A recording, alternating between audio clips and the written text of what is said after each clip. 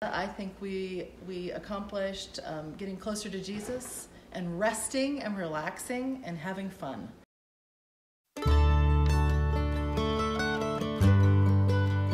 Um, I expect to get closer and appreciate God's nature.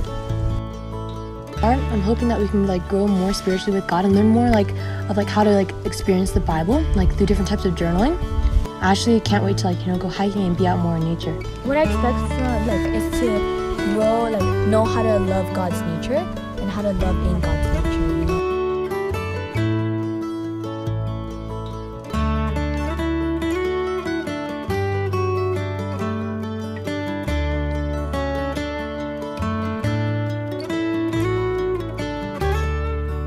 My favorite part is that we received this Bible here. I, for me, she, it's so pretty. It's my, I don't know, I like it. Uh, I like the journals because we can write our thoughts and feelings in them.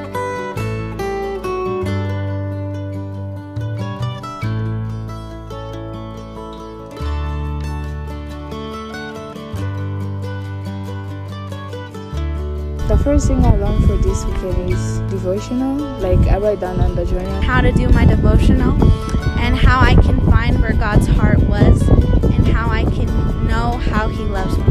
I learned that no matter what your